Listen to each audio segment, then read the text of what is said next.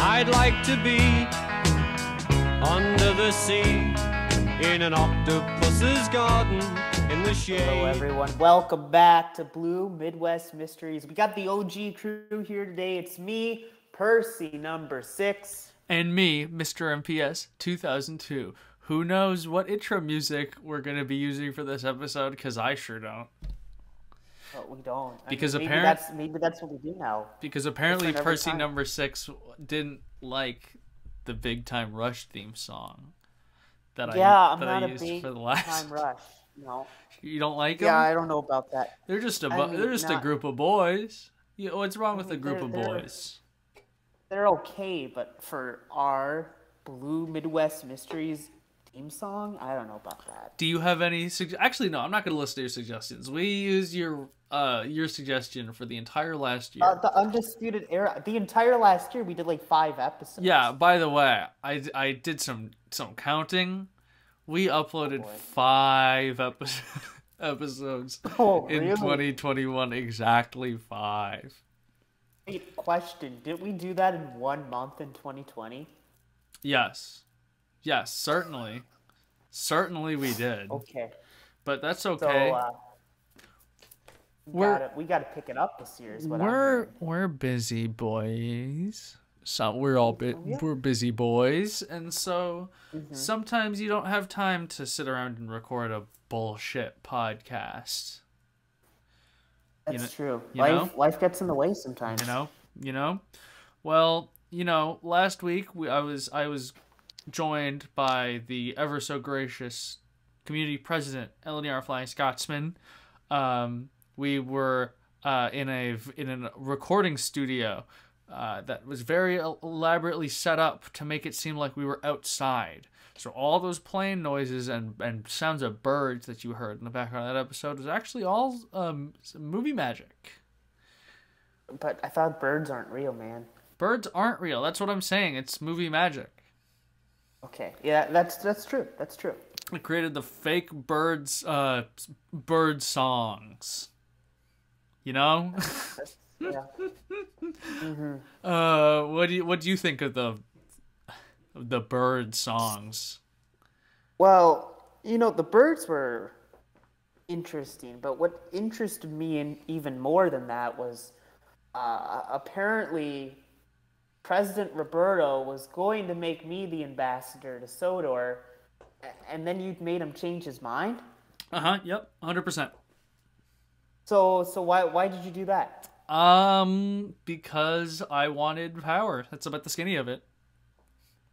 But, so, so, but, but that that was my power, and as you know, I've had a rough year. I lost my TWRC championship. Now Roberto's the TWRC champion, and you take away my chance to be ambassador. I don't know how I feel about this. well, you know, life life's not easy for for anyone, really. So yeah, you know, it's it's okay. Life's life's tough for for everyone out there. Everyone's got problems, baby boy, and you know, um, I got ninety nine problems, and Sodor ain't one. if you know what I'm saying. I, I'm- I'm just not upset. I'm disappointed. Well, hey, listen, listen. Hey, hey, listen to me. We could we could still run someone against Roberto for this next election. It's uh, happening in November, so soon, only a couple months away. And by that I mean like uh, I don't remember how many uh, 10 months away, but it's it's coming that'll uh, that time will fly by. Who knows how many people will be exposed to be pedophiles in that time. But here's the problem, right? 2019, oh, no, 2020, we put you on the line. You couldn't get the job done. 2021, I mean, you didn't have to say I dropped like out that. of the race. You didn't have I, to say you didn't that. get the job done. You didn't have to and then like I that. dropped out of the race. Well, I mean, it's true, didn't you? You didn't get the job done. I wasn't given the chance to get the job done properly. I would some I some would say. I gave an unbiased moderation of your debate, and you just couldn't convince the fans, the audience, the community. Okay, well, well, okay. Well, so listen. How about this? We we go we go find a Milk Tanker Media, dig him up out of whatever hole he's buried in, run a couple volts of electricity through his body, bring him back to life, and we run him next year. How's that? Or this year? How's that sound? I mean, that sounds good, but that also sounds like a robot. Oh no, I mean it's like a Frankenstein type situation because he's dead. Oh, You didn't hear about okay, that? You didn't hear about that? He died. He's dead. Terrible, really? Terrible accident that I just don't have time to get into right now. That, that's really disappointing. He was a good guy. Yeah, he, a- he came on our show. Yeah, yeah, that's true. He did, and I used to call him all the time during the Grease and Oil podcast. Yeah, you did that on your old podcast. You know, Hey, you you, know, heard- talking about your old podcast, we lasted longer than them. That's true. That's true. But maybe not for long. Just kidding. Or am I? Just kidding. Al- Although, you know, another thing we have to bring up, our show. You know, you know what our show's called, right? Heard of it? Yeah. Uh, Can you say the name of our show? Uh, Blue Midwest uh, and oil. No, no. See, here's the problem. Midwest. Yeah. Well, why was our last episode? Why did you take the mid out of the west for our last episode? Because that's where I was. It just wouldn't have uh, been really fair, I feel, to do an episode entitled Blue, or do a show entitled Blue Midwest Mysteries and not be in the Midwest. I felt like I would just be d- deceiving our lovely viewers. See, you know, we had a nice 30 episode streak of doing every episode in the Midwest, and then I, I think this President Roberto's got a bad influence on you, Matt. Listen, you know, he's not making me hang out with him or anything like that. We're just a couple of boys building a layout together.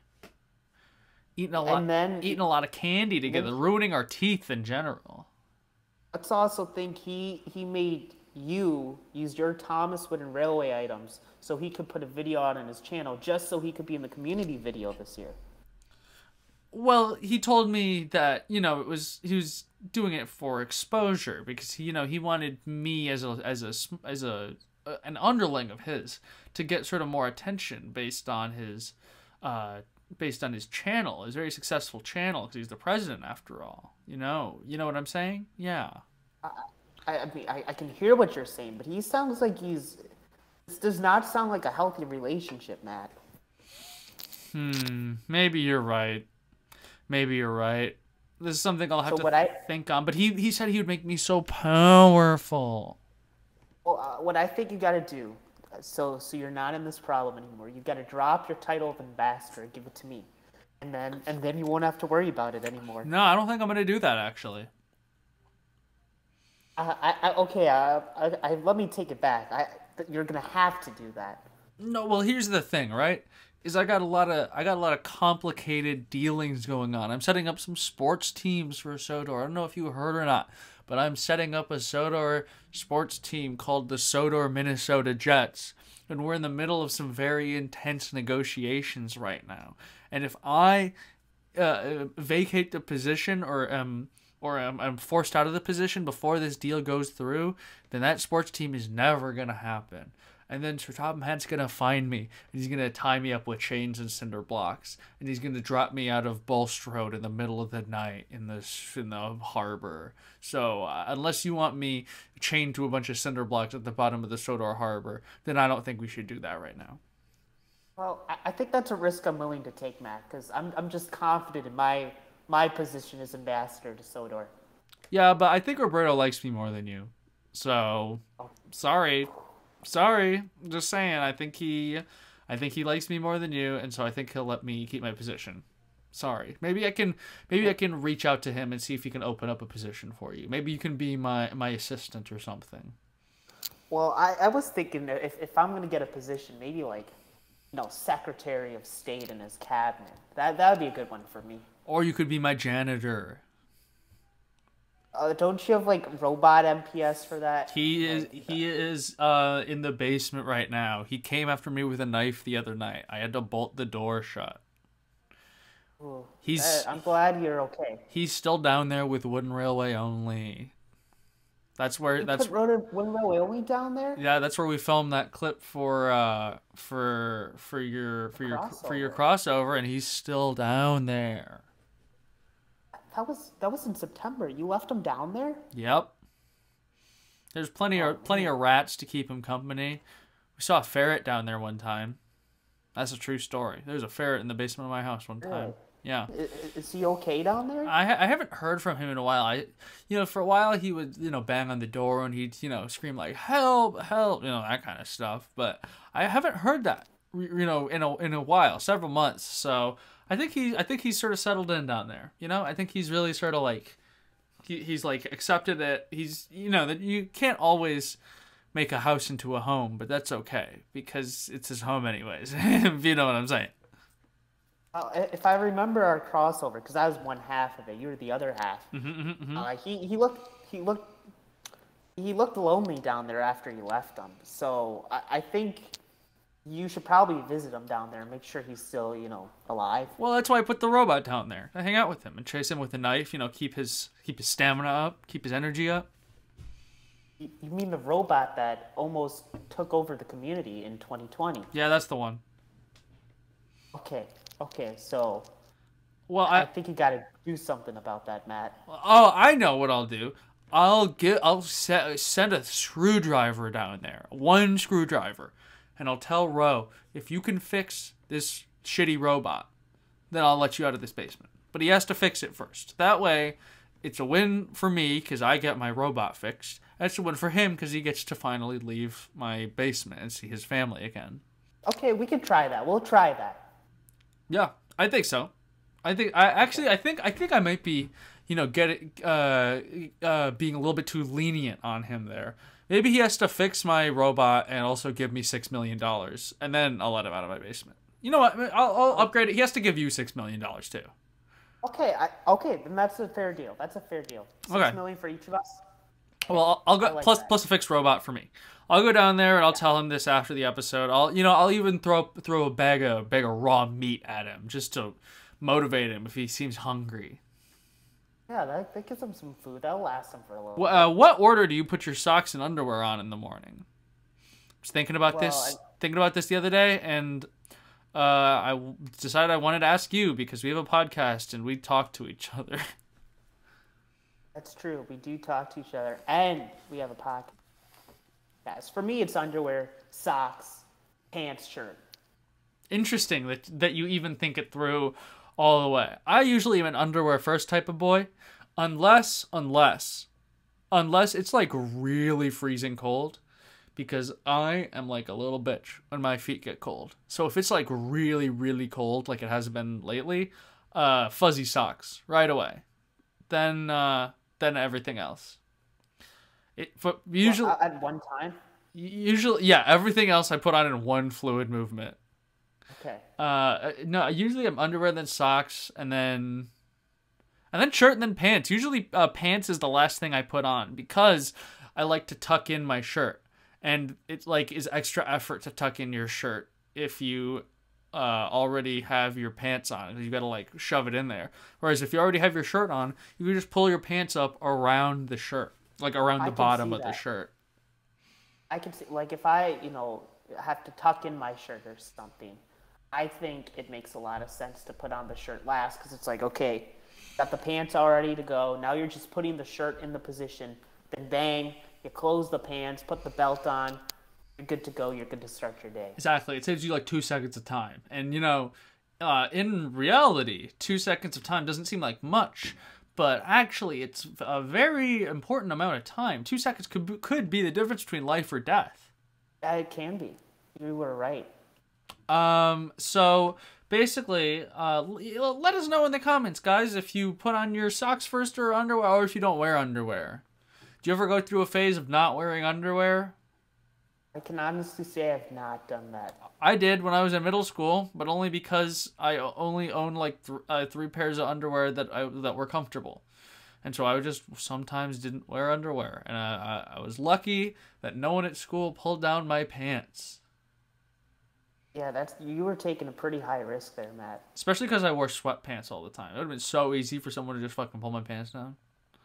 Yeah, that would have. Uh, you gotta wait. do you do you ever um you ever get your pants pulled down? Uh, again, I can honestly say I do not.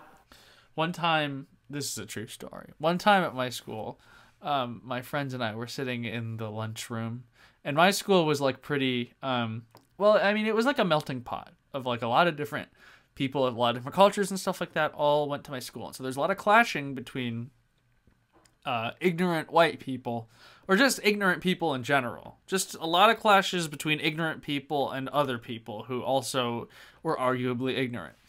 Um, and so there was a lot of fights at my school. There was like at least like three fights a week. It was just a common thing. But one day, my friends and I were hanging out at lunch, and all of a sudden a fight broke. Someone yelled "fight," and we were like, "Oh boy, here we go!" And we all like turned around to look at it, and we expected it to be like these like you know big like burly kids fighting or whatever. But it was these two kids who were sitting at like the end of this table and they were playing magic the gathering. And this one kid got so fucking mad at the other kid that he got up bro and he just started like swinging at this kid. And it was like very clumsy. Like obviously this kid has never punched someone in his life. But it was just like the raw fury of like uh like someone who's been bullied their whole life. And i was like holy shit. And he was just like giving this kid the business.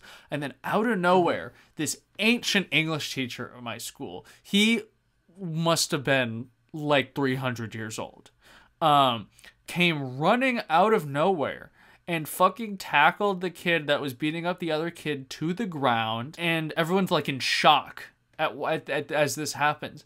And then the kid that got tackled to the ground stood up and his fucking pants and underwear fell down. And and and he mooned the entire fucking lunchroom. Wow. Yeah. I didn't even know what to say. My friends and I were like speechless after that happened. Normally we'd have like a funny comment to say, but we we did not have shit to say after that. It was just like, wow, I guess that happened. So so question. yeah. You you oh, in one of our previous podcasts, I think Milk Tanker Media said he played that game. And and he lived close to you when you were in school. So was he involved in that fight? in in the Magic the Gathering fight. Yes, he was the kid that showed his ass, his entire asshole to my whole high school cafeteria. No, um, Classic Milk Tanker Media. uh, yeah, he, and it was weird because he didn't even go to my school. He just came to my school one day and started beating the shit out of some kid, and then showed everyone his asshole and left. Wow. Um, no, that would have been a lot funnier that way, but um. No. Uh, Milk Tanker Media did not, in fact, show his class. I've never seen Milk Tanker Media's asshole. Well, that's good. Uh, so, uh, uh, uh, airplanes, right? I was on an airplane. I, I was flying back Yeah. home from, uh, from California where I was hanging out with Roberto. And, you know, because we're still in cor- still coronavirus outside. And, um, and so th- everyone has to wear masks in airports. It's just like, it's just like they just like lay down the rule. And because and because it's in an airport, everyone listens to it because airports are the one place that you cannot absolutely cannot fuck around at all. Yeah. They will not hesitate to fucking put you in handcuffs and keep you in a small room for a very long time if you fuck around at an airport. Um, but I do think it's funny because when we get onto the flight, you know, the flight takes off. The flight attendants come fucking up and down the rows like twice, and they're like, "Hey, you know, just a reminder, uh, federal law requires that you wear your mask in this air airplane at all times." And I'm like, "Okay, yeah, great, whatever." But then they come around with the fucking beverage cart and like the like the little bag of like terrible fucking cookies that they always give you. And then everyone takes their mask off at once at the same time to fucking eat it. And it's like, guys, what's even the fucking point here? Like, like truly, what's the point? What, what what's going on here? Because everyone mm-hmm. does it. Everyone fucking takes off their mask at the same time, and I just, I just didn't want to deal with that because I, uh, I, you know, getting coronavirus would be inconvenient for me. Uh, shall we, shall we say that? So I just kept my mask on the entire time um, while I was in the airport and on the plane, and it kind of was miserable, but also was fine because I don't have coronavirus, so whatever. I've never, I've somehow never gotten coronavirus. Still, have you? Hey, me too. I've not got COVID. gang. That's Maybe we're like the COVID-free podcast. Ooh, that's pretty good. I would name this episode that, but it would get demonetized. And as everyone knows, we make tons of money off of these episodes. Yeah. These episodes get like to lose any money. get like 230 viewers. That's we're rolling in the big bucks. Not even Fred was making that much. See, and, and, and that's why that's why I was upset about last episode. You throw in big time rush and copyright. Uh, YouTube overlords weren't happy about that. Okay, okay. So what what song should we use this time then? Huh? If you're Any, just about anything but that. any song, any song Just- other I than said, ju- I said just about. okay. What if I what if I used? Um, oh, I just I just hit the microphone. I just hit it again. Uh, what if I used this song? Yeah, what'd you think of that song? I, I, I didn't hear that song. Okay, well, what do you what do you think about this song? Okay, how about that? so- How, how about that song? that song. You didn't hear that song, No, but I didn't hear but I played so- it so loud. Okay, well, you, you'll for sure like this next song. I'd like to be under the sea in an octopus's garden in the shade. Yeah, pretty good, right? Yeah. Uh, yeah, sure. Yeah, that that, was great. That last one was is a good one for sure. Okay, great. Yep. Okay, Yep, good. Well, gl- glad we got that one uh, figured out and decided. Um, I just saw someone. I'm scrolling through my Instagram feed right now uh, while we're recording this, and I just saw that someone posted a picture of a naked minion. So I'm going to uh, close out of Instagram and turn off my phone because I don't want to see that. You might want to throw your phone away too. yeah, I think my phone might have to go into the garbage. Do you Or Give it, give, give it to Ro. He, he's give it to Ro like down to my basement? down Yeah, maybe he can Yeah. use use pieces from it to help fix that fucking robot. Um, yeah. do you you know you you've lived a couple places a couple different cities in your over the course of your life right I have. have you ever had in anywhere that you have lived a local maniac. Like someone who's who's like around and who like people know about and he's just or he or she i don't want to or they who just screams. Who just like is a lunatic and just and just like walks around screaming. And people just like stay out of their way. Because i feel like a lot of uh, towns have those. I, I honestly can't think of one, unfortunately. because our my city milwaukee that i live in i mean there's a more than one um, maniac that lives in milwaukee let me tell you that. But the there's uh one of our most local local maniac maniacs um is uh, he is, wakes up at is the earliest hours of the morning that I've ever been seen, and he just walks down my street that I live on, and screams, screams random random things, and mostly he directs the screaming at the apartment building across the street from my house, and it's just like it's just like incomprehensible. Like, hey, fuck you. Hey, hey, fuck, oh, fuck yours. Just like the most, just incomprehensible mm-hmm. th- stuff. And it, and to, for context, my room is in the back of the house, like the far, far back of the house. I don't hear shit from my room, and I still hear this fucking crazy man yelling at six in the morning, yelling at doors in the apartment building, J- yelling yelling at boxes and so you've never you've never had to deal with a local lunatic Nah, but I remember like five years ago when there were clowns everywhere.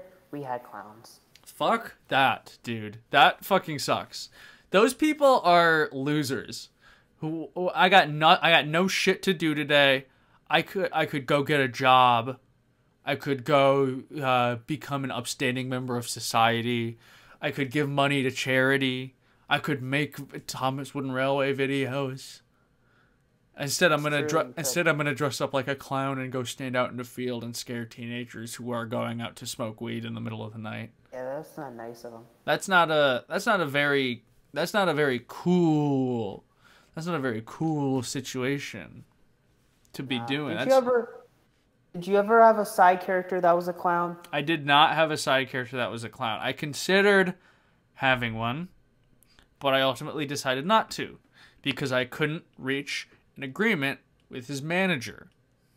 Ah, We booked him for appearances in the Mr. MPS 2002 review series. But ooh. but he, there we had a we had like a like a fallout falling out over pay. Uh, he you know he, he's I won't I'm not even legally allowed to say who he was, but he, he was like a high profile. He was a high profile clown, you know, and he was gonna come pop in and do some do some appearances, make some funny jokes, you know, maybe honk some horns or something like that in in my reviews, and nothing, nothing. Do you give us a hint of who this guy was? Well, he did star in a very successful movie a couple years ago. Is it like Claw of the Law? Uh, and he loves to, uh, um, and he loves to laugh and make jokes. He loves to make jokes. I, I think it's the Claw of the Law. He loves to make laugh and make jokes. And he has green hair. That's right. I'm talking about Mr. Bubbles. It's his in his new in hi- his new look. He dyes his hair green now because he wants to look like the Joker. That makes sense. That makes sense. Hey, you know, now that you're the interim ambassador to Sodor, maybe you can get a deal done. I think instead I'm going to go talk to the president and I'm going to have Mr. Bubbles thrown in I'd jail. Under the sea in an octopus